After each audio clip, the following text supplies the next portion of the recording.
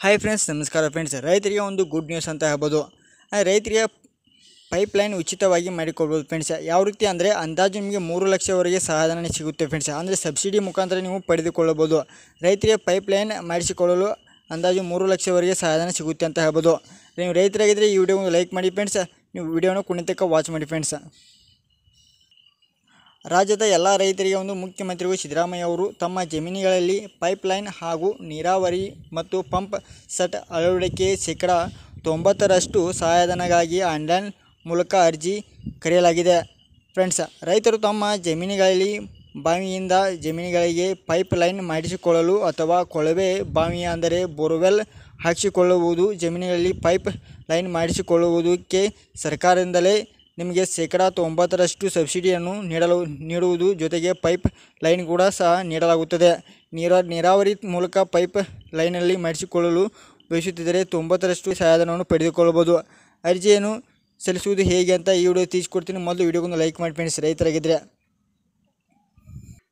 ನೋಡಿ ಫ್ರೆಂಡ್ಸ್ ಅಂದರೆ pipe line ಮಾಡಿಸಿಕೊಳ್ಳಲು ಉಚಿತವಾಗಿ ನೀವು ಸಬ್ಸಿಡಿಯನ್ನು ಪಡೆದುಕೊಳ್ಳಲು ಫ್ರೆಂಡ್ಸ್ ಹಾಗೆ ಯಾವ ರೀತಿ ಅಂದರೆ ನೀವು ನಿಮ್ಮ ಬೇಗನೆ ಈ ಡೇಟ್ ಒಳಗೆ ನೀವು ಅರ್ಜಿ ಸಲ್ಲಿಸಬೇಕಾಗುತ್ತೆ ಅಂತ ಹೇಳ್ಬೋದು. ಅಂದರೆ ಈಗ ಅರ್ಜಿ ಕೂಡ ಚಾಲೂ ಆಗಿದೆ ಅಂತ ಹೇಳ್ಬೋದು ಫ್ರೆಂಡ್ಸ್ ಬೇಗನೆ ಅರ್ಜಿ ಸಲ್ಲಿಸಿ.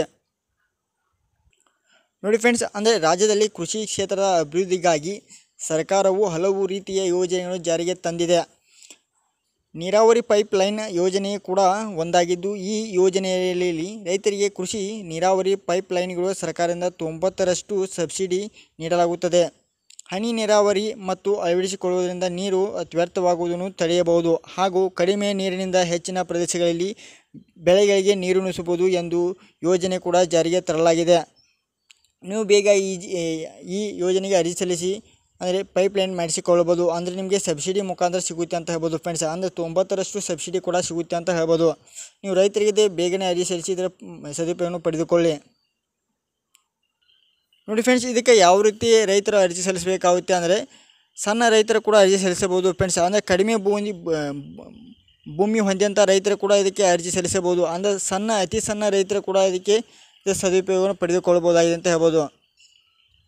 ನೋಡಿ ಫ್ರೆಂಡ್ಸ್ ಇದಕ್ಕೆ ಅರ್ಜಿ ಸಲ್ಲಿಸಲು ಡಿ ಎನ್ ಡಾಕ್ಯುಮೆಂಟ್ಸ್ ನೋಡೋ ನೋಡೋಣ ಬನ್ನಿ ಫ್ರೆಂಡ್ಸ್ ಮೊದಲು ಫ್ರೆಂಡ್ಸ್ ಅದಕ್ಕೆ ಅರ್ಜಿ ಸಲ್ಲಿಸಬೇಕಂದ್ರೆ ವಿದ್ಯುತ್ ಸಂಪರ್ಕದ ಪುರಾವಣೆ ಬೇಕಾಗುತ್ತೆ. ಅದಕ್ಕಾಗಿ ವಿದ್ಯುತ್ ಬಿಲ್ ಹಾಗೆಯೇ ಮತ್ತು ಮೊಬೈಲ್ ಸಂಖ್ಯೆಯ ಆಧಾರ್ ಕಾರ್ಡ್ ನೊಂದಿಗೆ ಲಿಂಕ್ ಮಾಡಲಾಗಿದೆ ಫ್ರೆಂಡ್ಸ್ ಅಂದರೆ ಆಧಾರ್ ಕಾರ್ಡಿಗೆ ನಿಮಗೆ ಇಲ್ಲಿ ಮೊಬೈಲ್ ಕಾರ್ಡ್ ಲಿಂಕ್ ಇರಬೇಕು.